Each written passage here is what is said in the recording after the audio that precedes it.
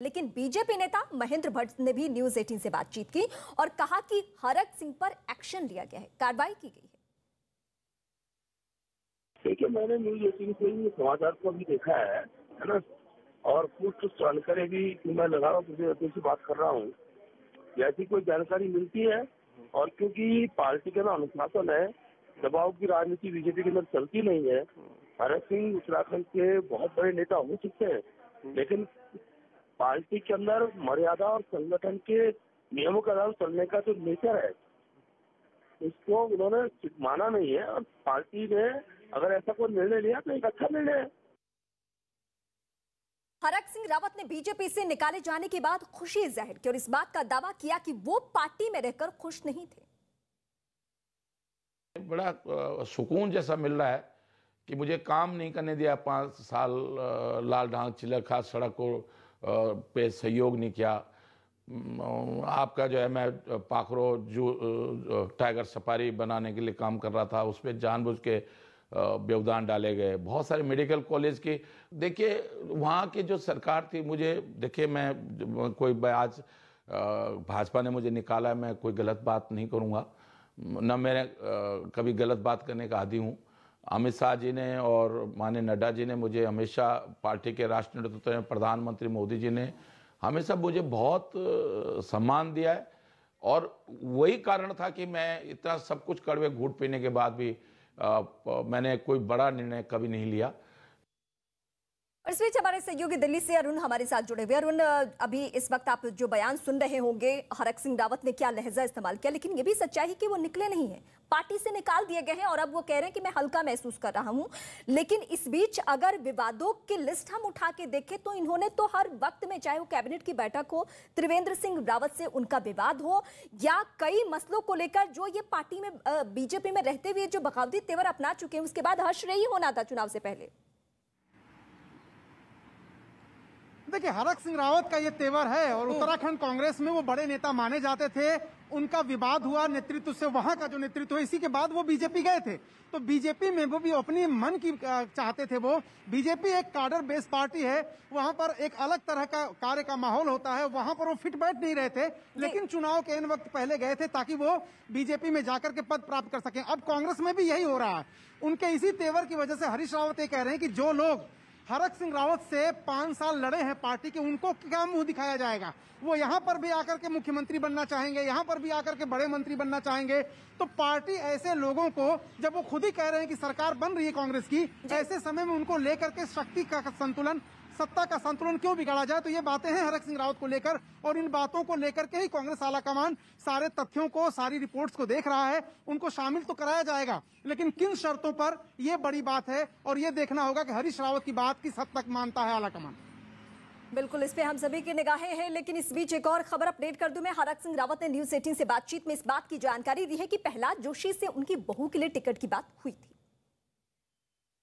मेरी देहरादून में जब तीन दिन पहले मुलाकात हुई थी उन्होंने बुलाया था तो मैंने कहा भाई मैं अभी लेस्टरोन गया था और आ, जिस तरह अनुकृति गुसाई जी ने जो हमारी बहू है उनके जितने पाँच हज़ार महिलाएँ आई थी एक उत्साह है उनको लेकर मैंने कहा इसलिए नहीं कि वो सामाजिक काम कर रहे हैं उस क्षेत्र में तो मैंने कहा इसलिए नहीं कि वो मेरी बहू है और इसलिए उसको चुनाव लड़ाया आप सर्वे करा लीजिएगा अगर वो जीत सकती है तो उसको आप मौका दे दो। मैंने कहा, मैं बहुत उत्तराखंड की राजनीति में काम करने के लिए तैयार नहीं हूँ। मुझे पार्टी में कोई काम दे दो और मैं पार्टी के लिए काम करूँगा। और इस बीच दीपक बिष्ट हमारे साथ जुड़ चुके हैं। दीपक, जब हरक सिंह रावत की हम खबर अपने दर्शकों तक पहुँचा रहे हैं और इनकी प्रोफ़ाइल के बारे में बता रहे हैं कि कब कब इन्होंने बगावती तेवर अपनाए, कब कब इन्होंने पार्टी में विवाद खड़ा किया तो हमें ख्याल आता है कि बीजेपी ने सबक लिया है उत्तर प्रदेश से। और यही वजह कि अब उसको कैंची चलाने में वक्त नहीं लग रहा है ऐसे नेताओं पर, जो पार्टी का नुकसान रहते हुए भी कर रहे हैं और बाहर निकलेंगे तो ऑफकोर्स करेंगे ही करेंगे।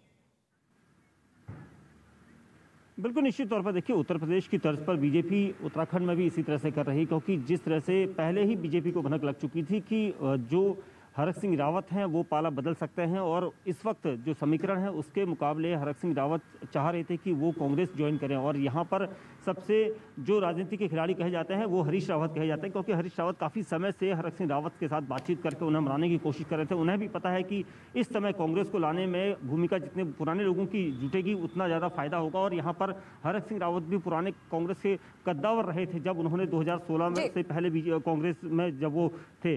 तो यहाँ पर भी ये समीकरण बदल रहे हैं और इसको लेकर उन्होंने पूरी तरह से ये किया। हालाँकि बीजेपी ने उन्हें निष्कासित कर दिया लेकिन अब वो कांग्रेस में किस तरह खुलकर सामने आ सकते हैं ये आज देखना होगा क्योंकि आज उन्होंने यही कहा है बिल्कुल अभी उस तेवर लेकिन समय तेवर का इंतज़ार है कि नहीं कांग्रेस। पार्टी का जब वो रुख कर लेते हैं तो फिर क्या बातें कहते हैं? लेकिन कांग्रेस पार्टी ज्वाइन किए बिना ही उन्होंने कहा कि रावत ने ये बात का दावा भी किया है कि इस बार उत्तराखंड में बीजेपी की सरकार किसी भी सूरत में नहीं बनने वाली है। जो सच है वो कहा पार्टी से कि मैंने कहा भाई भाजपा की सरकार नहीं आ रही प्रदेश में लेकिन केवल इसलिए मैं नहीं भाजपा छोड़ूँगा कि भाजपा सरकार नहीं आ रही तो मैं भाजपा छोड़ दूँगा। लेकिन क्योंकि लोगों का रुझान युवाओं का रुझान कर्मचारियों का रुझान भाजपा के पक्ष में नहीं है उत्तराखंड में।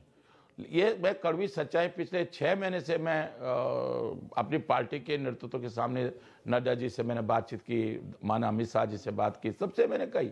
लेकिन मैं इससे छोड़ने वाला नहीं था पार्टी की सरकार नहीं आ रही। अरे अच्छ, अगर अच्छे दिनों में हम साथ हैं तो क्या बुरे दिनों में नहीं साथ रहेंगे? लेकिन मुझे नहीं समझ में आ रहा कि बिना मुझसे बातचीत किए हुए अरे आप मुझसे बातचीत करते वो तो अच्छा हुआ कि मेरे घर में बिजली नहीं गई होती बिजली ठीक नहीं खराब नहीं। रहे हमने कोशिश करी हमेशा उनको लेकर चले। लेकिन यहाँ पर चूँकि स्थितियाँ ऐसी हो गई कि वो अपने समेत अपने परिवार के लिए और अन्य लोगों के लिए पार्टी पर दबाव कर रहे थे तो इसलिए पार्टी ने निर्णय लिया। सर हरक के जाने क्या उत्तराखंड में कुछ लग रहा है कि पार्टी में कुछ और फूट पड़ेगी कुछ लोग और भी जाएँगे? नहीं नहीं कहीं कोई ऐसी फूट नहीं है। सर उत्तराखंड की जनता के लिए क्या कहेंगे? एक बड़ा मैसेज फ़िलहाल बीजेपी ने दिया है देखिए हम को लेकर हम वो आगे नहीं बढ़ रहे हाँ। निश्चित रूप से हमने तय किया है कि एक परिवार से एक व्यक्ति को ही टिकट दिया जाएगा। और किसी के भी परिवार में हम दो टिकट तीन टिकट नहीं देंगे क्योंकि हमारी पार्टी हमेशा इसके खिलाफ है। रावत और लगातार के लिए क्या कहेंगे? भी कर रहे थे। आपने उनको उनका पर भी उनका था। उनका लंबा अनुभव है और वो स्वयं तय करेंगे अपने बारे में। सर हरक बहुत लंबे समय से नाराज़ रहे हैं। आपने आवाज़ पर भी बुलाया था। अरे यार नहीं जा रहे भाई। नहीं तो हो गया। यहाँ पर आप रहने दो रहने दो। मुख्यमंत्री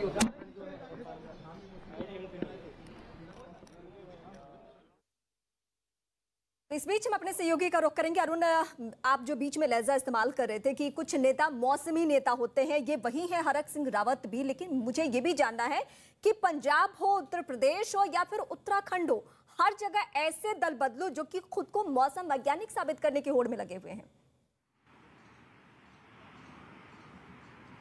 देखिए हर पार्टी में इस तरह के नेता होते हैं जो अपनी कंस्टिट्यूएंसी को फेस करने से डरते हैं। जब पाँच साल वो काम नहीं करते हैं तब उनको एक ऐसे दल की ज़रूरत होती होती है जिसकी हवा चल रही हो। आप उत्तर प्रदेश में देखिए आप पंजाब में देखिए और आप उत्तराखंड में देखिए।